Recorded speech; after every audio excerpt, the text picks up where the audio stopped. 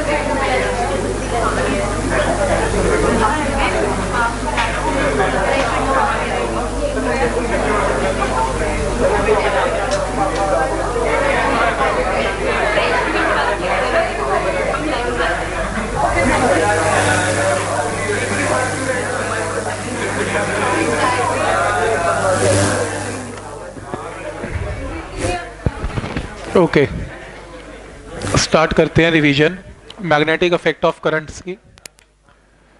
देखो, इसके अंदर हमने जब ये चैप्टर स्टार्ट किया था तो हमने बाइट सवेट लॉ से स्टार्ट किया था, जिसके अंदर एक वायर है थीटा एंगल पर स्मॉल मैग्नेटिक फ़ील्ड निकालना है। स्मॉल मैग्नेटिक फ़ील्ड का formula mu naught by four pi I D L sine theta by R square और बी की डायरेक्शन निकालने का तरीका बी की डायरेक्शन निकालने का तरीका कि करंट अगर ऊपर जा रहा है तो थम करंट के साथ और बी वेक्टर बोर्ड के इनसाइड है। फिर हमने इसके कुछ एग्जांपल्स किए थे, जैसे इसको यूज़ कैसे करना है कि अगर इस वायर में करंट 8 एम्पियर है वन सेंटीमीटर छोटी सी लेंथ है इस वायर का सेगमेंट तो आपको स्मॉल मैग्नेटिक फ़ील्ड डीबी निकालना है दो, सौ सेंटीमीटर नॉर्थ ईस्ट पे। तो नॉर्थ ईस्ट का मतलब एंगल 45 है। तो formula mu naught by four pi ideal sine 45 by R square R आपको पता है mu naught by four pi पता है, यहाँ से डीबी कैन बी कैलकुलेटेड तो बाइट सेवेट आपको स्मॉल मैग्नेटिक फ़ील्ड की वैल्यू बताता है। इसके बेस पे एक दो और नोमेरिकल फिर इसकी पहली एप्लीकेशन थी। फ़र्स्ट एप्लीकेशन में एक फाइनाइट वायर है, और इस वायर में अगर आई अमाउंट ऑफ़ करंट है, और आपको यहाँ बी निकालना है। तो हम क्या करते थे, एक वायर के एंड का एंगल फाइव टू और एक एंड का एंगल कितना है फाइव वन है। हम स्मॉल एलिमेंट ले लेते थे स्मॉल एलिमेंट ने एंगल कितना सबटेंड किया फाइव ये डिस्टेंस आ रहा है ये डी एल है और एंगल थीट है। तो स्मॉल एलिमेंट का कॉन्ट्रीब्यूशन डीवी निकाल लिया mu naught by four pi I D L sine theta by R square इस राइट एंगल ट्राइंगल में theta plus five plus ninety one eighty theta plus five equal to ninety तो theta is ninety minus five put किया तो ये term आ गई। इस triangle में cos five is equal to A divided by R तो यहाँ से cos five A by R तो आर की वैल्यू आ गई। तो A by cos five is A second five और उसी तरीके से उसी तरीके से टेन फाइव की वैल्यू यहाँ से क्या आएगी? एल डिवाइडेड बाई ए तो इसको डिफ्रेंशिएट करेंगे तो ये डी एल आएगा। टेन फाइव की डिफ्रेंसिएशन सीकेंड स्क्वायर आएगी। तो आप यहाँ से आर की वैल्यू यहाँ से ये पुट करेंगे डी एल की वैल्यू यहाँ से ये पुट करेंगे। और इसे जब सिंप्लीफाई करेंगे तो आपके पास छोटी सी ये टर्म आ जाएगी बस सॉल्व करना है। तो फिर आपने लिमिट्स लगानी है। लोअर एंड के लिए minus five one upper end के लिए plus five two minus five one से प्लस फाइव टू सॉल्व करके ये फॉर्मूला आएगा। तो एक वायर के, दो एंगल्स गिवन है फाइव वन फाइव टू तो बी की वैल्यू कैन बी कैलकुलेटेड तो ये तरीके से हमने बी निकाला था। स्पेशल केस था कि अगर वायर इनफाइनाइट लेंथ की है तो दोनों एंगल्स ऊपर और नीचे के pi by two pi by two तो five one five eight by two की जगह पाई बाई टू तो mu naught by four by two I by A इसका आंसर है। तो बी का फॉर्मूला आ गया। ये कुछ नहीं कंपटीशन के लिए था ये सारा जितना भी कॉन्सेप्ट था। वैसे तो कर भी सकते हो, कोई दिक्कत नहीं है बट बेसिक बेसिक यही आता है। तो इसमें दो वायर्स हैं, परपेंडिकुलर है। आपको इस करंट कैरिंग वायर और इस करंट कैरिंग वायर का बी निकालना है। तो इनफाइनाइट वायर है तो इसका बी निकल आएगा mu naught by four by two I two by B और इसका क्या आएगा mu naught by four by two I one by A तो इसमें करंट इस तरीके से तो बी बाहर है। इसमें करंट ऊपर है तो बी अंदर है। तो एक बाहर है, एक अंदर है। तो बी की वैल्यू एक बाहर है, अंदर है तो बड़ी में से छोटी वैल्यू को क्या कर देंगे? Minus net B can be calculated तो उसके बाद ऐसे कई क्वेश्चन हमने किए स्ट्रेट वायर के। बेसिक कॉन्सेप्ट वही है इनफाइनाइट वायर का। जैसे यहाँ पर अगर आपको बी निकालना है ये एक, एक, में करंट अंदर जा रहा है एक में बाहर आ रहा है आपको बी यहाँ निकालना है। तो इसकी वजह से इनफाइनाइट का फॉर्मूला इसकी वजह से इनफाइनाइट का फॉर्मूला बस फ़र्क है क्योंकि करंट इसमें बाहर आ रहा है तो बी ऊपर होगा। इसमें करंट अंदर जा रहा है तो यहाँ पर भी नीचे होगा। तो फिर बड़ी में से छोटी वैल्यू को हम क्या कर देंगे? सिंपली माइनस करेंगे और नेट भी कैन बी कैलकुलेटेड तो ये बाइट सवेट लॉ की पूरी एप्लीकेशन है, जैसे स्क्वायर वाला क्वेश्चन आया करता था। स्क्वायर के सेंटर पे बी निकालो। तो स्क्वायर को चार हिस्सों में डिवाइड कर लेते हैं wire number one two three four पहली वायर के लिए angle five one five two forty five forty five तो बी का formula mu naught by four pi I by A sine forty five sine forty five ऐसी second का third का fourth का, चारों का। तो इसमें करंट इस तरीके से बी आउटसाइड है। करंट ऐसे है तो बी आउटसाइड है। हर वायर का आउटसाइड आउटसाइड आउटसाइड आउटसाइड है। तो नेट बी की वैल्यू चारों को ऐड कर देंगे। नेट बी की वैल्यू कैन बी कैलकुलेटेड तो बेसिक फॉर्मूला वही रहेगा इनफाइनाइट और फाइनाइट वायर्स का। तो इसके बेस पे ये क्वेश्चन थे। फिर दूसरा पार्ट था कि आप इसमें एक सर्कुलर लूप लें। इस सर्कुलर लूप की वजह से सर्कुलर लूप की वजह से बी की वैल्यू निकालें। एक्सिस के ऊपर बी क्या होगा? ठीक? तो आपकी बुकलेट में ये कुछ इस तरीके से मेंशन था गिरा magnetic field due to circular current carrying loop तो मैंने आपको ये बताया था कि करंट कैरिंग लूप है। करंट कैरिंग लूप का एक स्मॉल एलिमेंट ले लेंगे। ये रहा एलिमेंट ये रहा छोटा सा एलिमेंट और ये एलिमेंट बाहर की तरफ़ है डीएल ये डिस्टेंस है under root of R square plus R square तो डीबी की वैल्यू इसके साथ 90 डिग्री पे होगी। क्योंकि जो मैग्नेटिक फ़ील्ड डीबी होता है, वो इस डिस्टेंस और इस डिस्टेंस के परपेंडिकुलर होता है। तो अगर ये बाहर की तरफ़ है तो दो वेक्टर बोर्ड के ऊपर होंगे। दो वेक्टर एक प्लेन में, तीसरा आउट ऑफ़ प्लेन है। तो DL vector out of plane है तो ये इन एक प्लेन में है। तो डीबी वेक्टर इसके परपेंडिकुलर है तो अगर ये एंगल थीटा 90 माइनस थीटा तो ये थीटा डीबी के दो कंपोनेंट कॉस एंड साइन ऐसे नीचे भी बनेंगे, ये कैंसल डीबी साइन थीटा की इंटीग्रेशन आपको नेट बी की वैल्यू देगी। डीबी की वैल्यू इस एलिमेंट की वजह से mu naught by four pi I D L इसका स्क्वायर इंटू साइन थीटा इसे इंटीग्रेट करेंगे ज़ीरो से टू पाई आर और साइन थीटा की जगह यहाँ से पुट कर लेंगे R divided by root of R square plus R square solve करके आपके पास बी का ये फॉर्मूला आएगा। ये बी की वैल्यू आ जाएगी और वापस शीट पे चलते हैं। सेम जो भी कर रहे थे ये रहा। तो एंड रिज़ल्ट ये आएगा। बी का फॉर्मूला एक्सिस के ऊपर ये आएगा। अगर नंबर ऑफ़ टर्न्स एन है तो एन से मल्टीप्लाई हो जाएगा। अगर सेंटर पे जाना है सेंटर पे छोटे आर को ज़ीरो पुट करेंगे तो आपके पास बी का ये फॉर्मूला आएगा। Mu naught by four pi two pi I by A और अगर नंबर ऑफ़ टर्न्स एन है तो एन से मल्टीप्लाई तो डेरिवेशन भी आ जाती है पेपर के अंदर. उसके बाद जो नेक्स्ट है इसके अंदर, ये हमने रिजल्ट्स किए थे.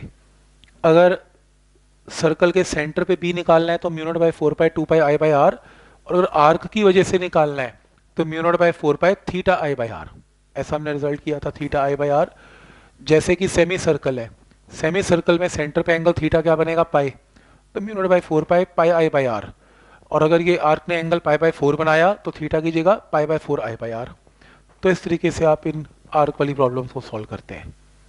नेक्स्ट इसके अंदर कुछ ऐसी प्रॉब्लम की थी कि स्ट्रेट वायर आर्क की वजह से नेट भी निकालो तो ऐसे कुछ न्यूमेरिकल्स किया करते थे। ये हमने शीट नंबर 56 में ऐसा किया। नेक्स्ट शीट नंबर 56 के बाद अगर बुकलेट के अंदर वापस चले तो एम्पियर सर्किट लॉ किया था।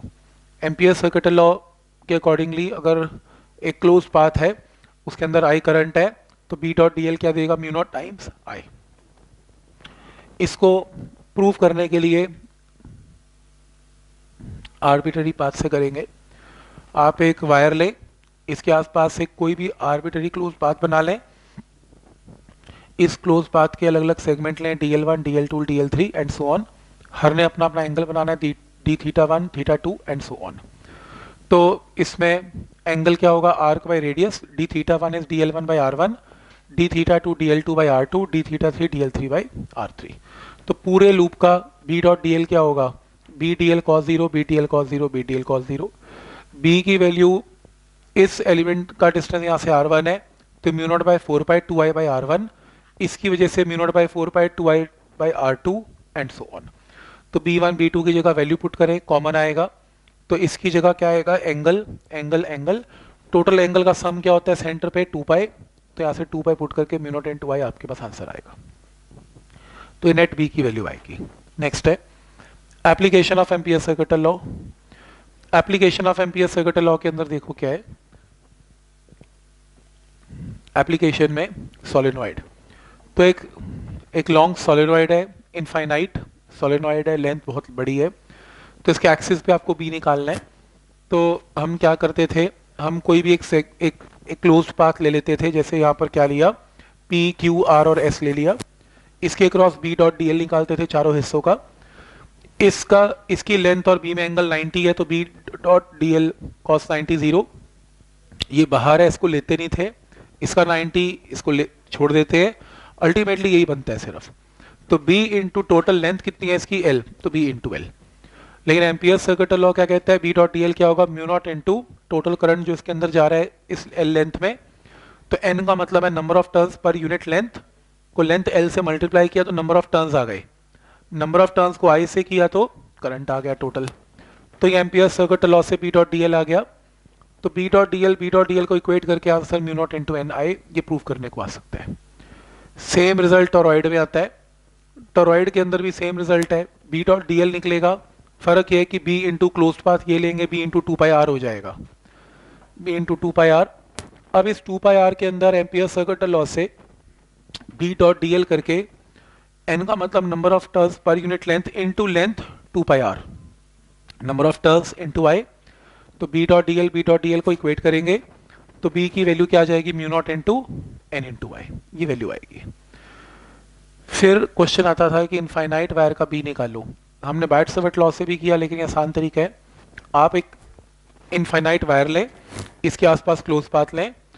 क्लोज पाथ का बी डॉट डी एल लें B into two pi R जो कि किसके इक्वल होगा? म्यू नॉट इंटू इसके अंदर कितना करंट है? आई इक्वेट कर ले। बी आ गया। टू से मल्टीप्लाई टू से डिवाइड करें। इनफाइनाइट वायर का रिज़ल्ट आएगा mu naught by four by two I by R हो जाएगा प्रूफ ये ये भी इंपॉर्टेंट है, ये भी क्वेश्चन में आ जाता है पेपर में। फिर ऐसा आ जाता था कि मैग्नेटिक फ़ील्ड निकालना है किसमें निकालना है? करंट कैरिंग कंडक्टर में निकालना है। जैसे ये पूरा का पूरा एक एक वायर है सॉलिड वायर है, इसमें आई अमाउंट ऑफ़ करंट है। तो अगर मुझे बी इसके बाहर निकालना है तो क्लोज पाथ लें।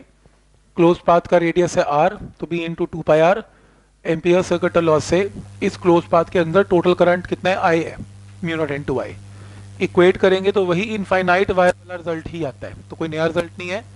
जो इनफाइनाइट वायर का रिज़ल्ट है एग्जैक्टली exactly वही आता है। चेंज कहाँ पर होता है? अगर आपको किसी वायर के अंदर भी निकालना है तो अगर ये वायर है आए इसके इनसाइड आर डिस्टेंस पे भी निकालना है तो B into two pi R mu naught times I dash अब मेरे को इतने पोर्शन का करंट निकालना है तो अगर एरिया क्रॉस सेक्शन का पाई ए स्क्वायर है तो करंट आई है वन है तो pi I divided by pi A square और एरिया पाई आर स्क्वायर है तो pi R square by pi A square into I तो आई डैश एरिया वाइज आ जाएगा करंट तो दोनों को इक्वेट कर लिया इक्वेट करके बी की वैल्यू कैन बी कैलकुलेटेड तो यहाँ तक ये चार टॉपिक्स क्लियर हैं यहाँ तक. इसके बाद शीट के ऊपर तो मुझे लगता नहीं कि क्वेश्चन आता होगा एनसीईआरटी में. शीट के ऊपर कह नहीं सकता मैं. बाकी इसमें चार्ज पार्टिकल के ऊपर क्वेश्चन आते हैं। अगर कोई चार्ज पार्टिकल मूव कर रहा है with velocity of V in magnetic field B it will experience a force F is equal to B Q B sine theta ये हमने किया। फिर हमने ये किया कि एक चार्ज पार्टिकल अगर यूनिफॉर्म इलेक्ट्रिक फ़ील्ड में मूव करता है तो ये इलेक्ट्रिक फ़ील्ड यूनिफॉर्म है। चार्ज पार्टिकल एंटर कर रहा है, वो पैराबोला में जाएगा। तो इसकी एक्सलेशन ऊपर की तरफ़ F is equal to Q E by M तो एक्स एक्सिस में वेलोसिटी कांस्टेंट है तो you can apply X is equal to T तो time is equal to X by V और वाई एक्सिस में आप सिंपली क्या अप्लाई करते हो? S is equal to T plus half A T square Y axis में electric field है तो एक्सलेशन क्या होगी? क्यू ई बाई एम और टाइम हमने ऊपर एक्स एक्सिस से निकाल लिया एक्स बाई वी तो y proportional to X square तो path followed is parabolic in nature तो इस तरीके से इलेक्ट्रिक फ़ील्ड अगर परपेंडिकुलर है तो पाथ फॉलोड पैराबोलिक है. उसी तरीके से लॉरेंट फोर्स किसे बोलते हैं? Sum of electric and magnetic field force के सम को लॉरेंट फोर्स बोलते हैं। अगर कोई charge particle uniform magnetic field में मूव करे it move in a circle और सर्कल में क्यों? क्योंकि बी क्यू वी जो फोर्स है, वो क्या एक्ट करती है? Centripetal M V square by R तो यानी कि B Q V is M V square by R तो यहाँ से रेडियस की वैल्यू आएगी M V by B Q तो R is equal to M V by B Q ये फॉर्मूला याद रखना है।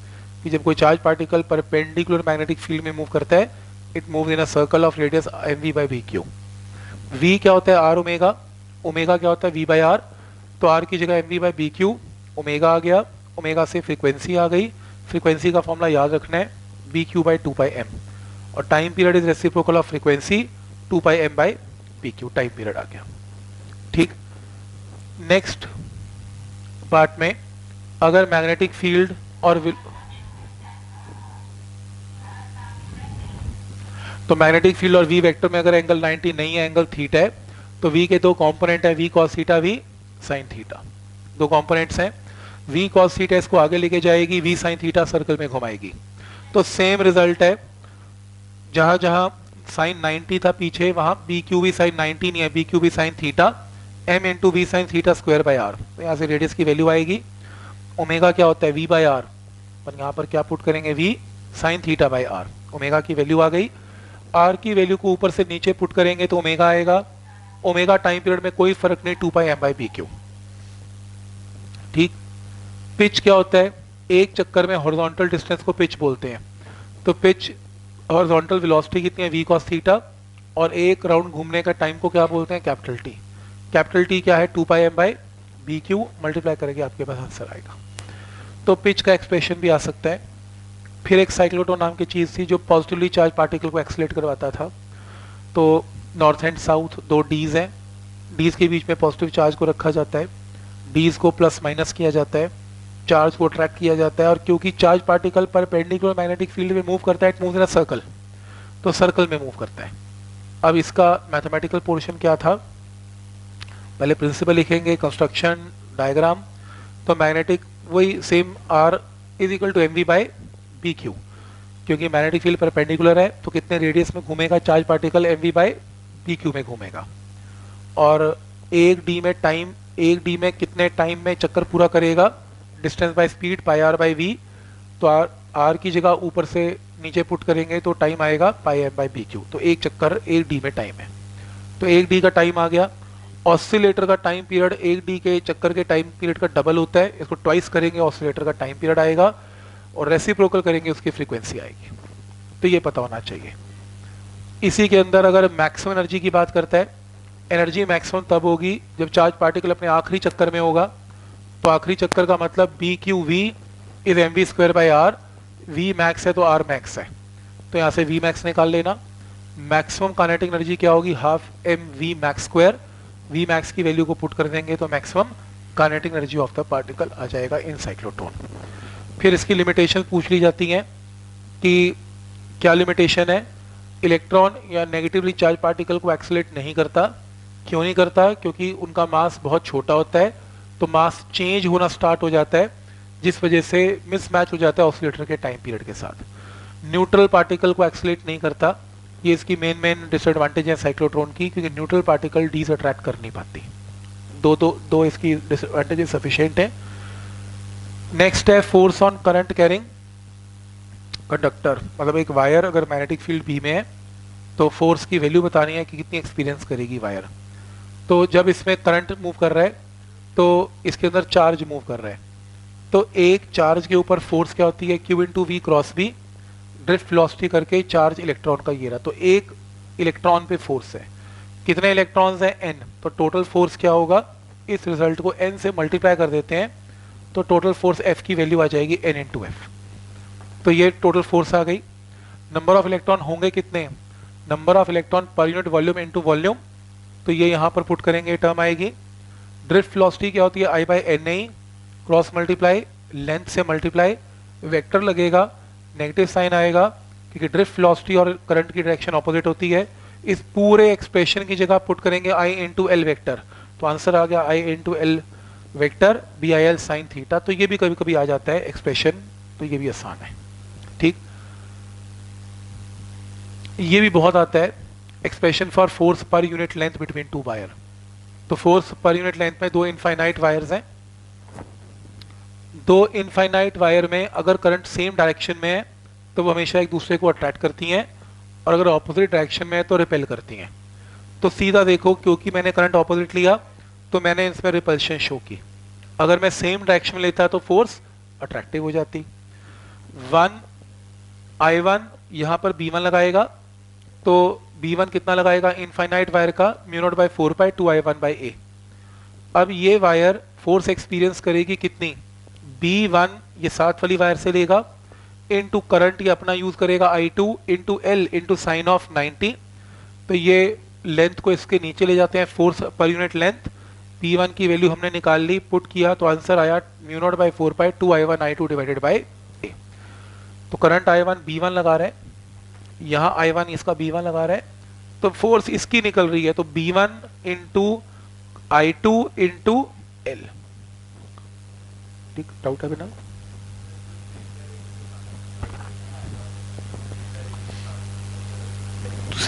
मैथमेटिकल तो सेम है, लेकिन ऐसा करना है कि अगर करंट सेम डायरेक्शन में है, मान लो ये आई टू है, मान लो ये आई वन है तो अगर तो कुछ ज़्यादा चक्कर में नहीं पड़ना।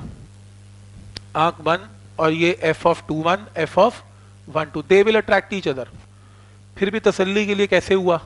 उसके लिए करंट आई टू ऊपर है तो बी ये कैसे जनरेट करेगा? इसके इनसाइड तो जो बी टू होगा, वो कैसे होगा? इनसाइड होगा। तो फोर्स एक्सपीरियंस कैसे निकलेगी? बी इसका इनसाइड है करंट इसका ऊपर है तो फोर्स कैसे है? लेफ़्ट है। तो मतलब इतना नहीं सोचना होता। अगर करंट सेम डायरेक्शन में है तो फोर्स ऐसे ड्रॉ कर देनी है। और अगर ऑपोजिट तो ऐसे। तो मतलब ये चेक तो ना कर रहा है कोई की टीचर की कि आपने ऐसे किया कि नहीं किया। ज़रूरत क्या है? तो सीधा रिज़ल्ट है। अगर सेम डायरेक्शन में है, अंदर की तरफ़ फोर्स लगा दो। डन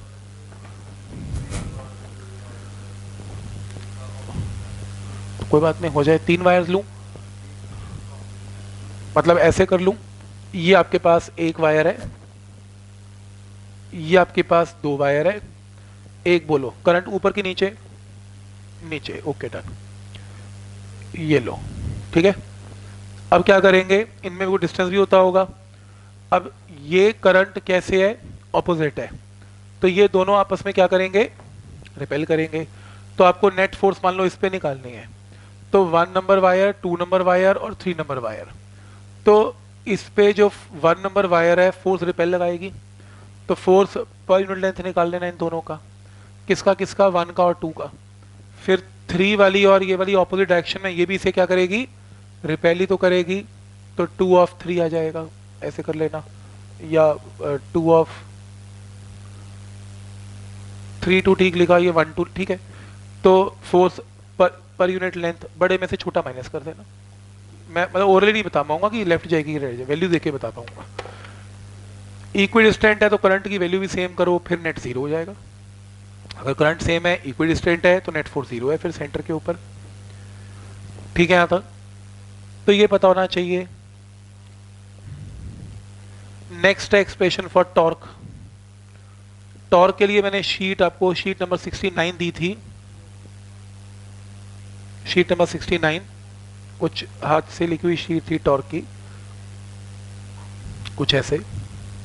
ठीक। इसमें यह था कि अगर आपके पास एक लूप है, मैग्नेटिक फ़ील्ड में थीटा एंगल पर है तो करंट इसमें प्रेजेंट है। चारों साइड्स फोर्स एक्सपीरियंस करेंगी। ये फोर्स इनसाइड एक्सपीरियंस करेगी B I L sine ninety ये आउटसाइड करेगी B I L sine ninety ये ऊपर करेगी और ये नीचे करेगी। ये करेगी B I L sine theta और ये करेगी B I L sine one eighty minus theta जबकि sine of one eighty minus theta भी साइन थीटा होता है। तो ये दोनों कैंसिल हो जाएँगी। ये इनसाइड और आउटसाइड क्या करेंगी? टॉर्क लगा देंगी। अब टॉर्क कौन लगाएगा? एफ़ वन और एफ़ थ्री ये विड्थ बी है, ये लेंथ एल है तो ये डायग्राम को अलग से ड्रॉ करेंगे हम। तो इस डायग्राम को हमने अलग से ड्रॉ किया। ये रहा। ये लेंथ अगर बी है तो ये बी कॉस थीटा है। तो यहाँ पर जो फोर्स है B I L sine ninety अंदर की तरफ़ है और यहाँ पर बाहर की तरफ़ है। तो टॉर्क होता है फोर्स इंटू परपेंडिकुलर डिस्टेंस जो कि बी कॉस थीटा तो force B I L into perpendicular distance दोनों के बीच में कितना है? B cos theta L into B area ये टॉर्क का फॉर्मूला असली चीज़ इसमें नोट करने वाली क्या है? आपको ना इसका लूप का परपेंडिकुलर बाइसेक्टर गिवन होगा एल्फा मतलब एंगल एल्फा जो बी के साथ एंगल बना रहा है alpha alpha plus theta theta angle loop ने बी के साथ बनाया एल्फा एंगल परपेंडिकुलर बाइसेक्टर ने बी के साथ बनाया। तो आप थीटा को पुट कर सकते हो 90 माइनस एल्फा तो आपके पास ये टर्म आएगी। तो साइन और कॉस दोनों में टॉर्क निकलता है। साइन कब यूज़ करना है? जब परपेंडिकुलर बाइसेक्टर वर्ड गिवन हो। कॉस कब यूज़ करना है? जब लूप का एंगल गिवन हो। 99% क्वेश्चन में परपेंडिकुलर बाइसेक्टर या नॉर्मल वाला साइन ही यूज़ किया जाता है। तो नीचे वाला फॉर्मूला ज़्यादा इंपॉर्टेंट है, क्योंकि आपको जो एंगल्स गिवन होते हैं वो परपेंडिकुलर बाइसेक्टर के गिवन होते हैं। क्लियर यहाँ तक तो ये टॉर्क का एक्सप्रेशन है। नेक्स्ट टॉर्क के बाद इसकी एप्लीकेशन मूविंग क्वाइल गैल्वेनोमीटर ठीक? इसके अंदर मूविंग कॉयल गैल्वेनोमीटर के अंदर करंट को मेजर करेगा टॉर्क के प्रिंसिपल पे काम करेगा कॉयल लेंगे करंट पास करेंगे कॉयल घूमेगी, ऊपर स्प्रिंग लगा हुआ है तो एक ऐसी वैल्यू आएगी, जब इसमें टॉर्क को मैक्सिमम रखा जाता है तो कॉयल को रखा जाता है मैग्नेटिक फ़ील्ड के साथ पैरेलल वो इसलिए क्योंकि अगर बी ऐसे है कॉयल भी ऐसे है तो कॉयल का एरिया 90 एंगल बनाएगा तो N B I A sine ninety maximum torque देगा आपको। तो इसको रेडियल मैग्नेटिक फ़ील्ड भी बोलते थे। जब स्ट्रॉन्ग मैग्नेटिक फ़ील्ड है और coil is lying in the direction of magnetic field ताकि टॉर्क उसमें मैक्सिमम हो। तो इसमें torque maximum N B I A must be equal to K times theta torque restoring torque in a wire या spring equate करके current की value आएगी। तो ये आपको एक्सप्रेशन लिख के आना है वैल्यू ऑफ़ करंट इसमें दो क्वेश्चन आ जाते हैं कि मैग्नेट की शेप कनकेव क्यों रखी जाती है और रेडियल मैग्नेटिक फ़ील्ड क्या होता है। कनकेव इसलिए रखी जाती है ताकि सारी लाइंस कॉइल में से पास हो और स्ट्रॉन्ग मैग्नेटिक फ़ील्ड मिले। और रेडियल मैग्नेटिक फ़ील्ड वो फ़ील्ड है जब coil is lying in the direction of magnetic field ताकि टॉर्क उसको मैक्सिमम मिले तो वो भी रेडियल मैग्नेटिक फ़ील्ड है। फिर current sensitivity voltage sensitivity current sensitivity होती थी, कितने डिफ्लेक्शन हुई डिवाइडेड बाय कितना उसमें करंट पास हुआ। तो करंट का एक्सप्रेशन अभी हमने निकाला K theta by N B A तो theta by K theta by N B A ये करंट सेंसिटिविटी का formula N B A by K. Spring constant को बड़ा रखा जाता है इसकी वैल्यू बड़ी रखी जाती है ताकि करंट सेंसिटिविटी जो है आ, कम हो मतलब मतलब कम हो। मतलब इसको चेंज की मतलब कहने का मतलब इनवर्सली प्रोपोर्शनल है मेरे कहने का मतलब। के के इनवर्सली वोल्टेज सेंसिटिविटी क्या होती है? कितनी डिफ्लेक्शन है अपॉन कितनी वोल्टेज है आई इंटू जी तो यहाँ पर करंट हमें पता है और इसमें जो वोल्टेज सेंसिटिविटी है करंट हमें पता है जी हमें पता है पुट करके बस जी एक्स्ट्रा आएगा। करंट सेंसिटिविटी में के आता है इसमें के इंटू जी आता है के जी आता है। तो बस यही फ़र्क है। फिर ऐसे क्वेश्चन आ, जाते हैं कि गैल्वेनोमीटर को एम मीटर में कैसे कन्वर्ट करेंगे? By connecting a low resistance shunt in parallel with it तो I G into G I minus I G into S तो ये तरीका है और उसी तरीके से आप कैसे वोल्ट मीटर में कन्वर्ट करेंगे? By connecting high resistance R in series with galvanometer तो ये तरीका है, और आर की वैल्यू यहाँ से निकल सकती है। तो मतलब एक में शंट लगाना है, एक में हाई रेजिस्टेंस आर लगाना है सीरीज़ में। तो ये तरीका है। ठीक? तो आज का जो टॉपिक है, वो इसी के ऊपर क्वेश्चन है आज तक के जितने हमने किए अभी ये थ्योरी इसके बेस पे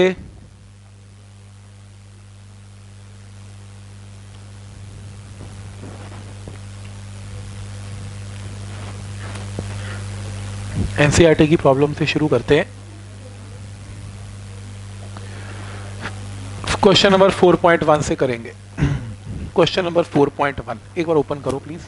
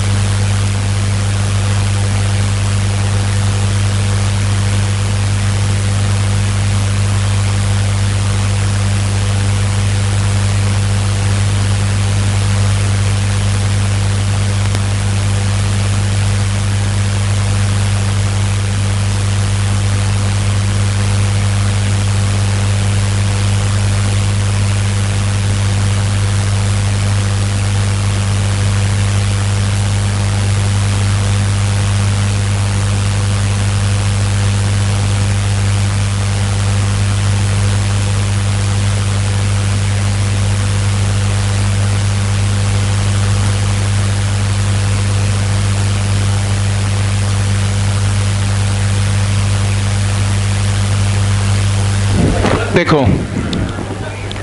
तो फ़र्स्ट क्वेश्चन से स्टार्ट करते हैं। फ़र्स्ट क्वेश्चन के अंदर a circular coil of wire consisting of 100 turns turns given है रेडियस गिवन है करंट गिवन है बी निकाल लो सेंटर ऑफ़ कॉइल पे। सेंटर ऑफ़ कॉइल पे सर्कुलर कॉइल के बी का फॉर्मूला क्या होता है? Mu naught by four by two pi I by R number of turns N है तो एन से मल्टीप्लाई सिंपल सेकेंड है, एक स्ट्रेट वायर है करंट गिवन है बी निकाल लो B centimetre from the wire क्योंकि वायर इनफाइनाइट लॉन्ग है तो mu naught by four pi two I by R इसका फॉर्मूला लगाना है। नेक्स्ट है, ये आपके सामने एक वायर है। वायर में करंट नॉर्थ से साउथ आ रहा है। ध्यान इधर नॉर्थ से साउथ आ रहा है। आपको 2.5 मीटर दूर बी बताना है। इनफाइनाइट का formula mu naught by four pi two I by R और डायरेक्शन के लिए करंट क्योंकि नीचे आ रहा है तो बी कहाँ होगा? आउटसाइड हो जाएगा। ठीक? नेक्स्ट है सेम क्वेश्चन है करंट कैरिंग वायर इनफाइनाइट है ईस्ट से वेस्ट है, आपको भी यहाँ पे निकालना है। तो इनफाइनाइट का formula mu by four by two I by R B निकालने का तरीका करंट इस तरफ़ है तो बी कैसे है? आउटसाइड आ जाएगा। नेक्स्ट है 4.5 what is the magnitude of force per unit length जिसका करंट आपको पता है एंगल पता है बी पता है। अब फोर्स का फॉर्मूला होता क्या है? B I L sine theta current carrying wire अगर मैग्नेटिक फ़ील्ड में पढ़, पढ़, पढ़ी हो तो फोर्स हमें पता है। लेकिन उसने फोर्स नहीं पूछा उसने फोर्स पर यूनिट लेंथ पूछे। तो B I into sine theta answer है। नेक्स्ट है कि अगर तीन सेंटीमीटर वायर है कैरिंग अ करंट ऑफ़ दस एम्पियर है लेंथ पता है करंट पता है और बी पता है। फोर्स बताओ क्या होगी? क्योंकि इसमें परपेंडिकुलर डायरेक्शन में बी है। तो B I L sine 90 force की वैल्यू आ जाएगी। नेक्स्ट है question number 4.7 two long and parallel straight wires A and B में करंट गिवन है। तो आमने सामने पड़ी हुई वायर्स हैं A I one I two given है। And in same direction same direction में they will attract each other separated by distance of D given है। Force on 10 centimetre of wire निकालो। तो साफ़ पता लग रहा है पैरल वायर में फोर्स पर यूनिट लेंथ क्या होता है? Mu naught by four by two I one I two by D length right side पे चलेगी तो फोर्स की value can be calculated next है, एक सोलेनॉइड है 80 सेंटीमीटर लॉन्ग है five layers of winding 400 turns each एक बार 400 टर्न्स है, ऐसी कितनी लेयर्स है? पाँच तो 2000 टर्न्स हो गए। लेंथ पता है 2000 टर्न्स पता है तो स्मॉल एन तो निकाल ही लोगे number of turns per unit length diameter आपको पता है तो यहाँ से करंट पता है बी निकालो inside a solenoid mu naught N I where N is number of turns per unit length तो डायमीटर क्या करना है? मुझे समझ में नहीं आई इसमें। डायमीटर चाहिए नहीं होगा इसका सोलेनॉइड का। तो म्यू नॉट एन आई से सीधा ही आंसर आ जाएगा इसमें। पॉइंट क्लियर है यहाँ तक? तो बेसिक बेसिक फॉर्मूलाज इसमें लग रहे हैं। जैसे एक स्क्वायर क्वाइल है। स्क्वायर का अगर लेंथ पता है तो स्क्वायर का एरिया तो आप निकाल ही लोगे। नंबर ऑफ़ टर्न्स पता है करंट पता है। The coil is suspended vertically and normal to the plane of coil makes an angle of 30 degree. तो वर्ड नॉर्मल या परपेंडिकुलर बाइसेक्टर आ गया।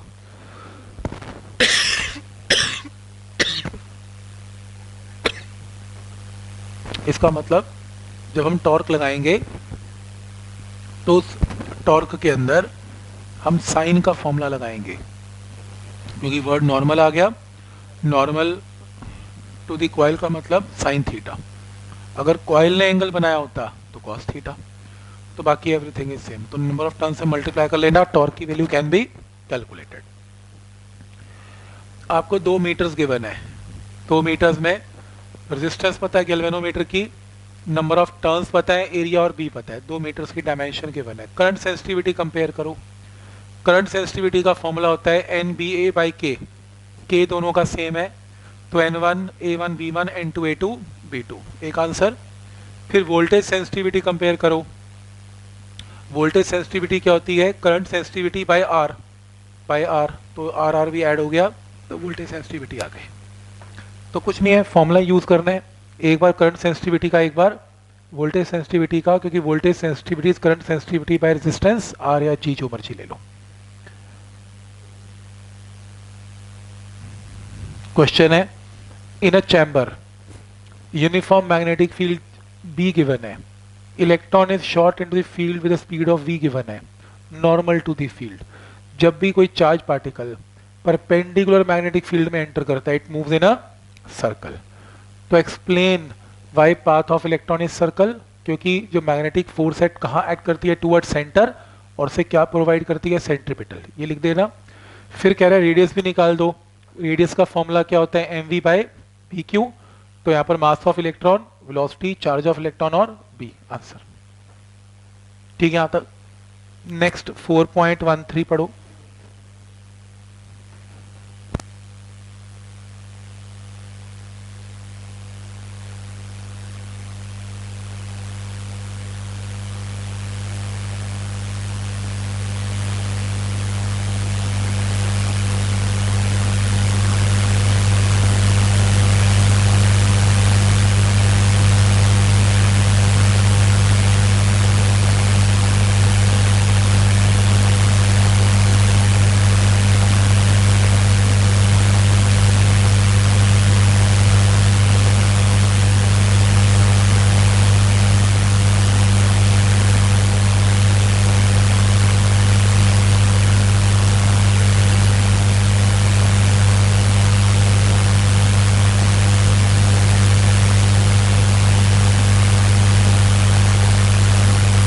तो क्वेश्चन है, एक सर्कुलर कॉयल है और जिसमें 30 टर्न्स हैं।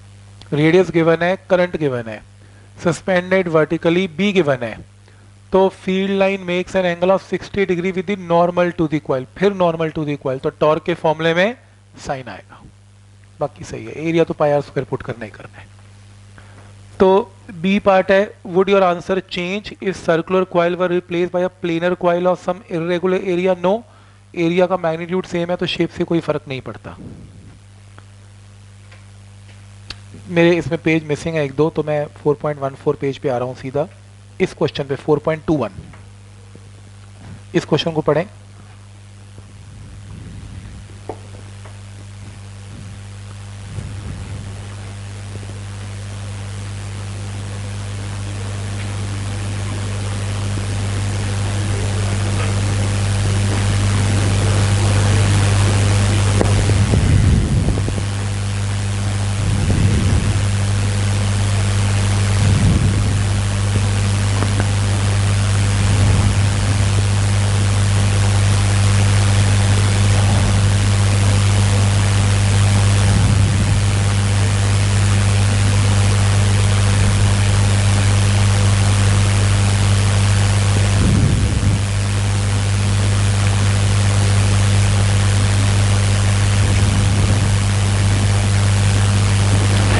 Straight horizontal conducting rod length given है मास गिवन है.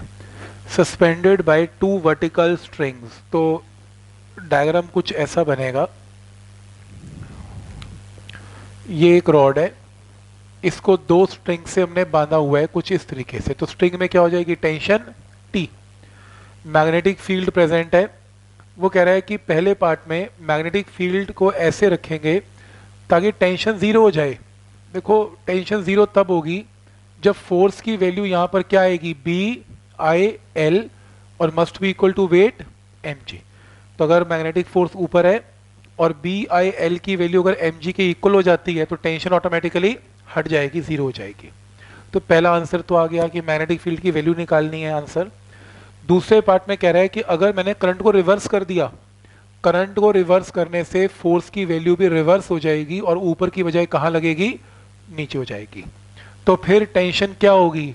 Total tension two T will be equal to M G plus B I L तो पहले केस में टेंशन ज़ीरो हो जाएगी, दूसरे केस में M G plus B I L हो जाएगी। आंसर ऐड कर लेना। ठीक। ये क्वेश्चन पढ़ो 4.23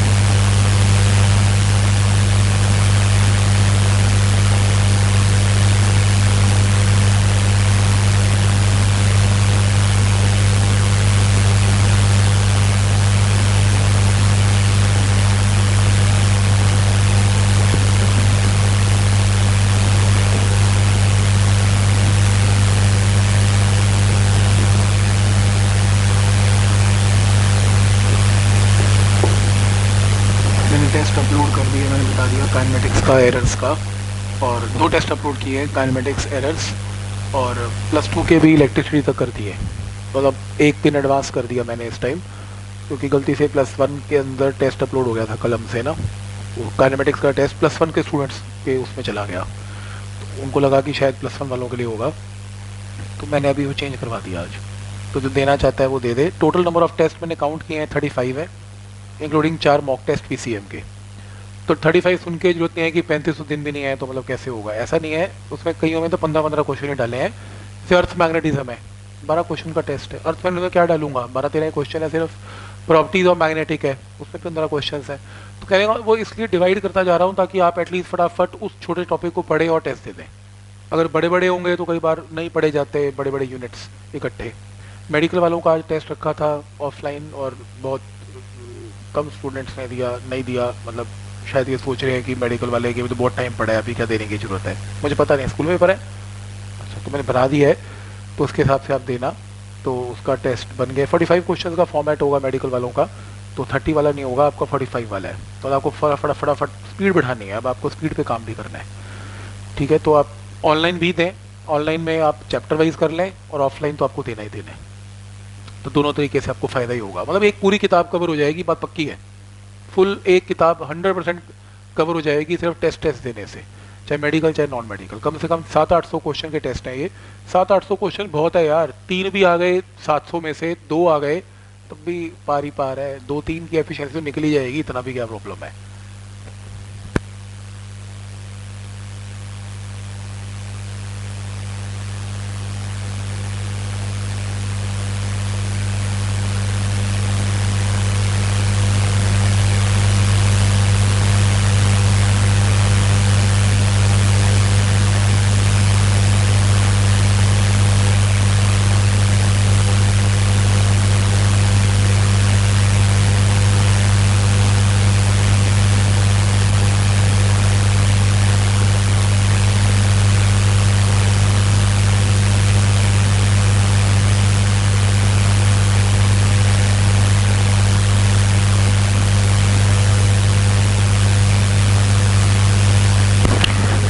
Uniform magnetic field exists in a cylindrical region.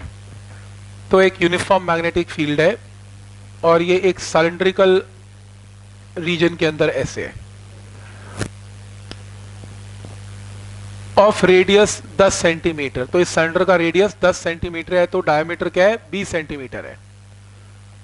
And it's direction parallel to the axis along east to west ये बना हुआ है। तो मैग्नेटिक फ़ील्ड ईस्ट से वेस्ट है, बोर्ड के अंदर है और ये नॉर्थ साउथ है। तो उसने कहा कि एक वायर ली हमने, जिसमें सात एम्पियर करंट है और ये इसमें से क्रॉस कर गई। तो मतलब मैग्नेटिक फ़ील्ड यहाँ प्रेजेंट था बोर्ड के अंदर ईस्ट से वेस्ट ऐसे, और ये नॉर्थ से लेके साउथ तक एक वायर इसमें से सीधी क्रॉस कर गई। तो वायर का कितनी लेंथ लें जो अफेक्टेड होगा जिसपे फोर्स लगेगी?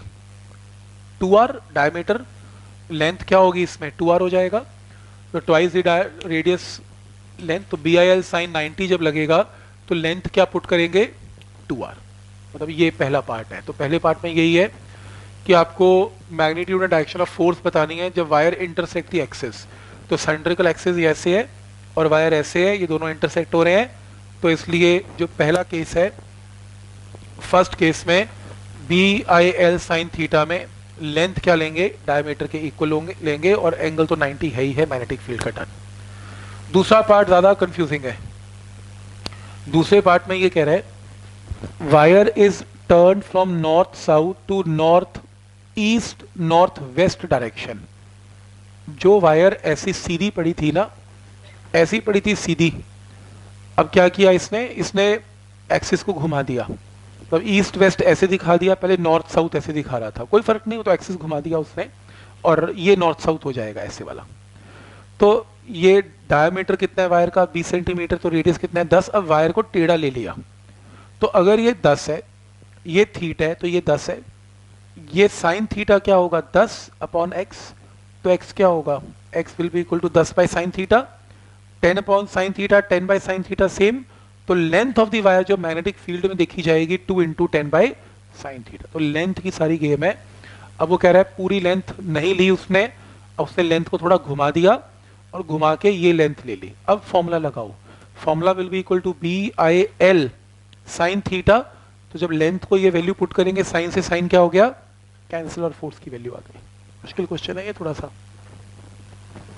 ट्रिकी क्वेश्चन है कि उसमें घुमाया और लेंथ की वैल्यू कैसे निकाली, ये इंपॉर्टेंट है। मैं ऐसा क्वेश्चन करवाया नहीं फ़र्स्ट टाइम ही देखा मैंने।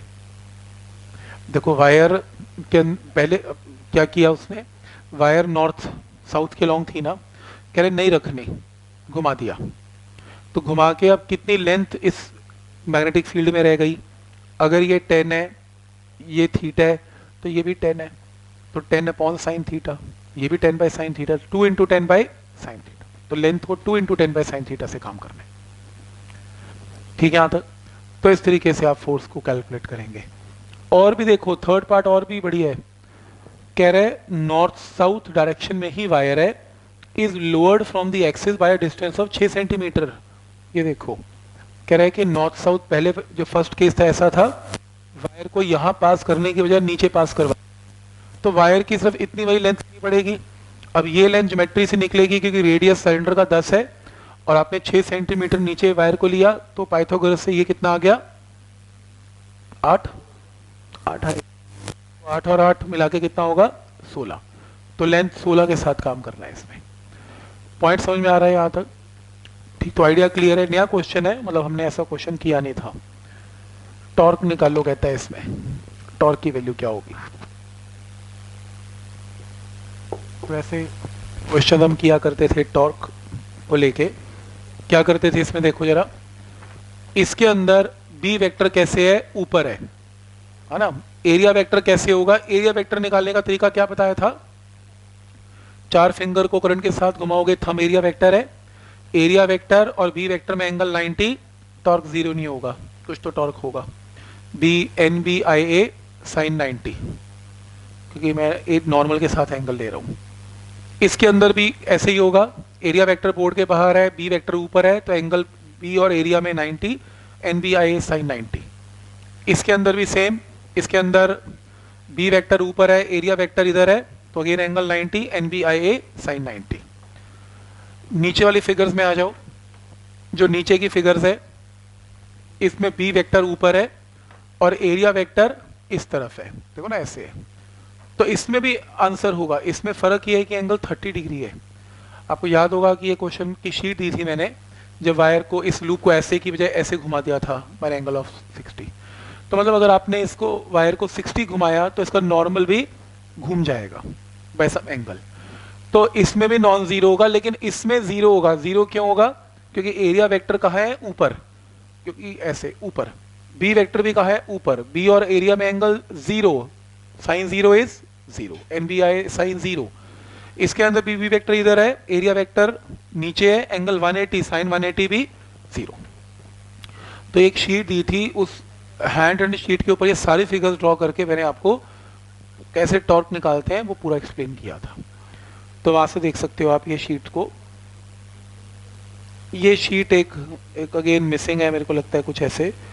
आप क्वेश्चन नंबर पढ़ें 4.26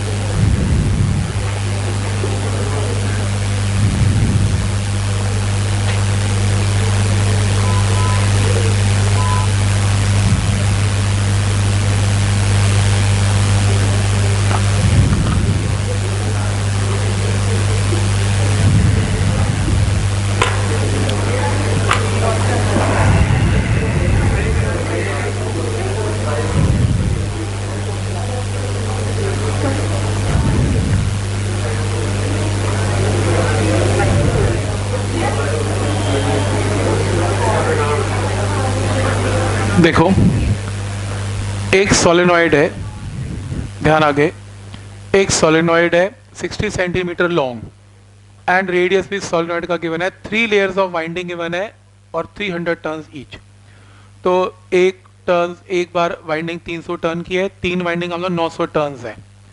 दो centimetre long wire of mass given inside a solenoid normal to its axis तो इमेजिन करो ये रूम सोलेनॉइड है तो बी इस तरीके से जा रहा है और ये अंदर एक वायर है, जो बैटरी के साथ कनेक्टेड है और जो कि इसके एक्सिस के परपेंडिकुलर है ये। इसमें 6 एम्पियर का करंट है।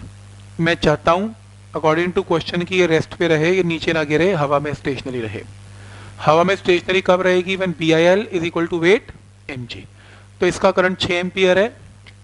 तो B इंटू करंट छ into L is equal to weight M तो B I L is equal to M और आप इसमें करंट कीजिएगा छ लेकिन B कहाँ से आया इसके पास? सोलिनॉइड का आया? सोलिनॉइड का B क्या होगा? Mu naught N into I dash where I dash is current of solenoid. तो यहाँ से n का मतलब number of turns per unit length of the solenoid तो निकाल ही लोगे। तो यहाँ से I dash has to be calculated answer आएगा आएगा। मतलब ये मुझे नहीं पता क्या कर रहा है, पर ये सही तरीके, ऐसे ही कर रहा है ये भी बट आसान तरीके से बताया मैंने। तो पॉइंट समझ में आ रहा है यहाँ तक। ऐसा क्वेश्चन हमने वैसे किया था शीट के अंदर लिखा हुआ ये क्वेश्चन बिल्कुल सेम आप भूल के होंगे, पर मैंने हाथ से लिखा तो मैं भूलता नहीं हूँ। मैंने अपने हाथ से लिखा है ना, इसलिए। ठीक? पॉइंट समझ में आ रहा है यहाँ तक। क्योंकि जब मैं लिख रहा था तो मैं सोचा इतनी बड़ी कहानी लिख रहा हूँ। अब मतलब कैसे, समझ में आएगी, नहीं आएगी, पता नहीं। बट चलो इन एनी केस ये मिलेगा आपको शीट में। नेक्स्ट है। Galvanometer coil has resistance of given G given है या आर जी गिवन है आर ऑफ़ जी और meter shows full scale deflection for current of three milliampere ये आपको करंट की वैल्यू आई जी गिवन है. कैसे इसे वोल्ट मीटर में बनाएँगे, जिसकी रेंज 18 वोल्ट है? तो आप सीरीज़ में आर लगाएँगे. आर का फॉर्मूला क्या होता है? V by I G minus R G हमने किया था तो वोल्ट मीटर की रेंज 18 है. आई जी हमें गिवन है. रेजिस्टेंस ऑफ़ गैल्वेनोमीटर हमें गिवन है. आंसर तो सीधा फॉर्मूला बेस्ड क्वेश्चन है, जो आ सकता है. जैसे question number two. Write the expression in vector form कि when a charge particle will experience a force F जब charge particle F force experience करता है तो वेक्टर फॉर्म में क्या लिखेंगे? Q into V cross B कह रहा है using this expression magnetic field के ऐसा यूनिट बताओ। तो ये न्यूटन है, ये कूलम है, ये मीटर पर सेकेंड है तो बी की वैल्यू आ जाएगी, जिसको टेस्ला भी बोलते हैं। और आप मीटर पर सेकेंड में भी निकाल सकते हैं एस सिस्टम से। Question number five under what condition does an electron moving through a magnetic field experience maximum force जब कोई इलेक्ट्रॉन पर पेंडिकुलर डायरेक्शन में मूव करेगा मैग्नेटिक फ़ील्ड के तो B Q V sine 90 force max